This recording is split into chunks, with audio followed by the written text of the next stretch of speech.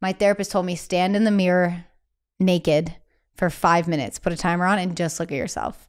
Day one, I was literally shaking because I was like, Mm-mm. like it was already tough for me to love my body, but after the C-section scar with all the stretch marks, my family's like smothered in stretch marks, like it's genetic, so I'm gonna get it.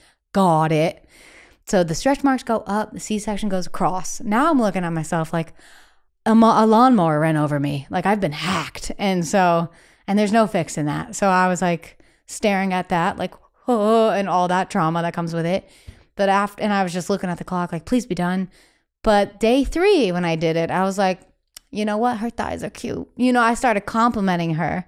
And I was like, oh, I see my brain changing already.